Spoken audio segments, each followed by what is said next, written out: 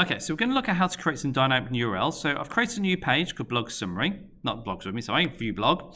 And at the moment, it's not doing anything exciting at all. It's literally just printing some text out. Okay, so nothing exciting there. Um, then what uh, I am going to do is I'm going to adapt this uh, URL here. Um, but before I do that, I need to create a new route.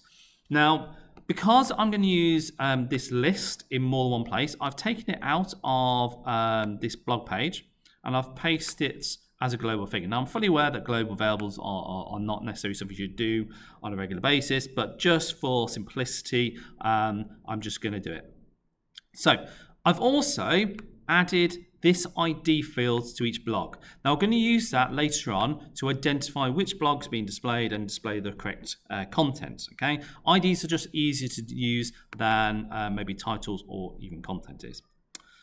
So that is now outside the function. And inside my blog page, I've just made it global. Okay, so global blog list. And I'm going to do the same in this one. So global blog list. Now, in this app route, okay, so like before, I've got view blog. I know I've got view blog.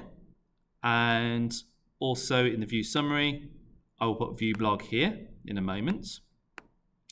But there is a subtle difference.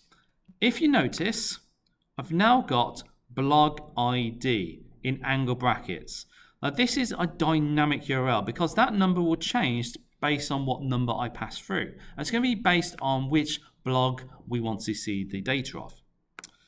I'm going to use methods equals post and get um, just to, just kind of keep it working. Um, to be honest with you, I've, I've not tried it without, so I might try it without, see if that makes a difference. Um, uh, I was having a few issues earlier on uh, before I did this video, so we shall see. Anyway, so I'm going to view the blog. So again, I'm not going to do anything with it yet. Um, but the URL, this one um, is going to look slightly differently. So let's put this back in to the blog summary and in here. So this bit is not different, obviously, but I've put a comma now and I've got blog ID equals b.id. So this blog ID matches this here and this here. Okay, so this is a dynamic thing. You notice now I've now got a parameter to this function, view blog.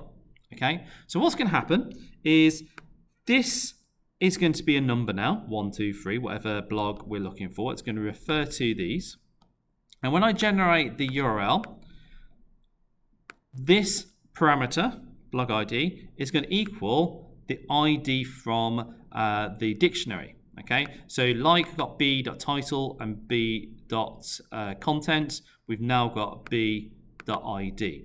Okay, so if I save that and run it, let's see what happens. Let's see if the um, the that post stuff was actually necessary.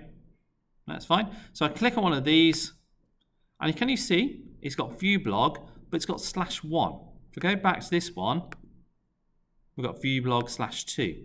Can you notice that number is changing? So that's a dynamic part.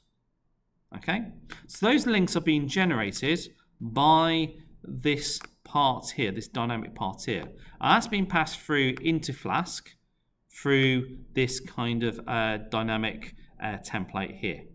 Okay, that's coming through as a parameter in here, which I can then do something with uh, later. So next thing we're going to look at was how do I use this ID to make a custom title and content.